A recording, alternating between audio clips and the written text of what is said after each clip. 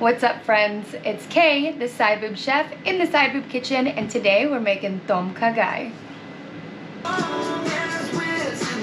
Soup season. Alright, first things first, you're going to take your coconut milk and put that in the pot and let that boil. While that's boiling, you're going to want to take your galangal and cut that into pieces and then we're gonna put it in a cheesecloth. So what you see me doing here is putting our galangal as well as our lemongrass in a cheesecloth, folding it up and adding it to the pot. Now the reason that I use a cheesecloth for this particular process is because we buy frozen lemongrass. So when I put that in there, sometimes it gets kind of a gritty texture if I don't actually put it in the cheesecloth, but you can still get all the flavors out of it. Next, we're gonna cut up our cilantro so that you're just left with the roots. You're gonna squeeze the roots a little bit and then you're gonna add them to the pot and this just helps release some of the flavor of the cilantro root itself.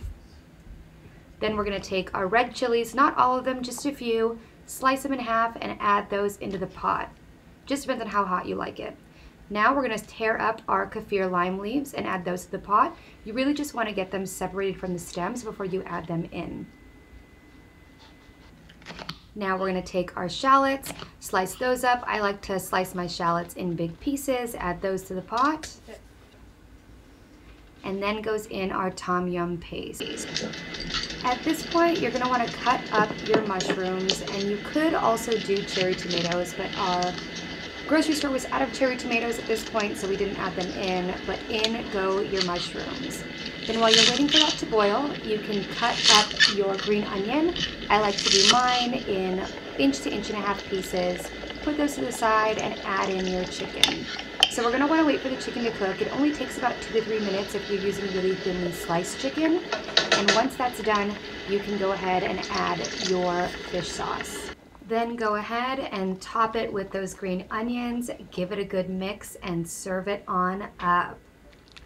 This dish can go great with rice or by itself. I like to garnish it with a little bit of cilantro, some fresh lime juice, and enjoy.